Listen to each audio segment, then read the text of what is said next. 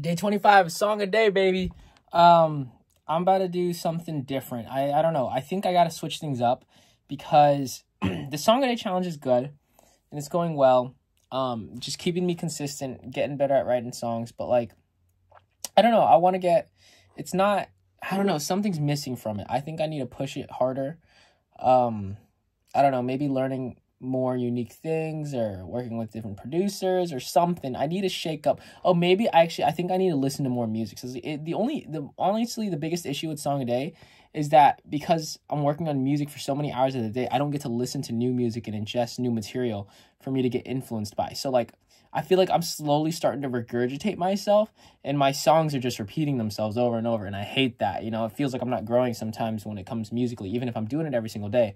It's like I want to deliberately practice. And so I'm thinking next strategy I, I, I don't know. I want to try listening to like unique music every single day, like an album a day or something. That would be a lot to do. Um, but I, I need to put more focus on listening to new music, getting inspired by new music, and new melodies will appear in new lyrical content and stuff.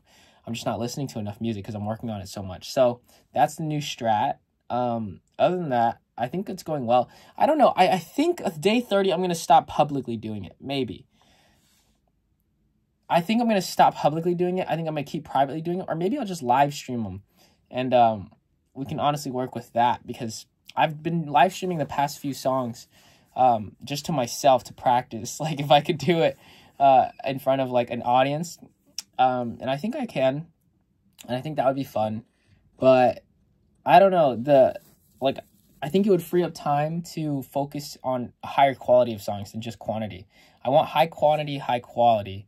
I think the only way to do that is just to keep writing. I mean, like I'm really inspired by like Ed Sheeran. He writes every every every single day and um, Dan Reynolds, like lead singer of Imagine Dragons, and he writes every single day. And like they they don't need to, you don't have to post it publicly. I think I just did it to hold myself accountable.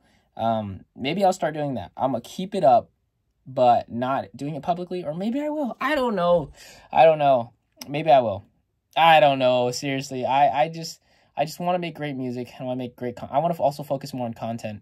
Um, yeah, I'm just kind of bouncing around, but other than that life is pretty good. Let's see, what's my updates in life? Um, not much. The house is all empty because my my parents went on a trip, so I kind of just have the place to myself, which is nice.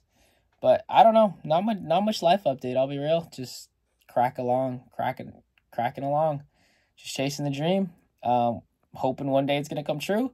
I just saw Rick Rubin quote, which uh, he's my favorite producer of all time, and he's like, I forgot what he said exactly, but it was something along the lines of like you have to have the people that make it are the ones that have a work ethic to support their dream. It's like there's one thing to dream and it's another thing to have a work ethic to support it. I feel like my work ethic is it's it's decent. I need to get it better, right? Um, but it's not bad. You know, song a day. That's 30 songs 30 days. It's not bad. Um, I don't know. We'll keep going.